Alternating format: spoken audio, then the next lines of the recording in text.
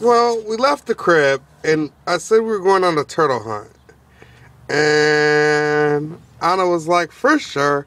And we ended up finding two little dudes, as you can see. As Girl they're, and they're, a boy. Girl and a boy. and they're chilling. That's Earl.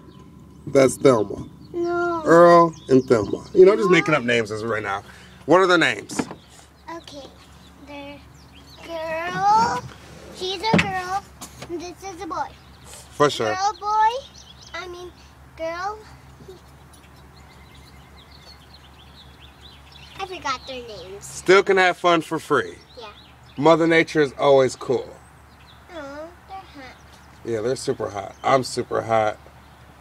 So, with that being said, people, we're out. Our nature walk is complete. You get in and then I'll hand you the turtles. Uh, let's check out the turtles one last time, and then we're gonna be out for.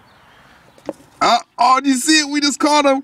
The little dude was humping the other one. You saw it. You saw it first. You saw it first. Turtle babies. All right. All right. Well, we saved two turtles, and I'm not gonna lie to you guys, for all you viewers and checking it out, Anna did find both of these turtles herself, like literally, and they were like, you see how little the turtles are. So I'm talking about eagle, quarter. yeah, like eagle eye. But for you to look at it and say, to me, that looks like a rock, because you gotta remember they were dirty. They were sitting out of the sun, dry. But they're happy. They're gonna get some some gourmet food probably. They probably want to go on a little journey. Uh, see, he's humping them. See, caught it on tape. Can't be just climbing on your little cousin and stuff.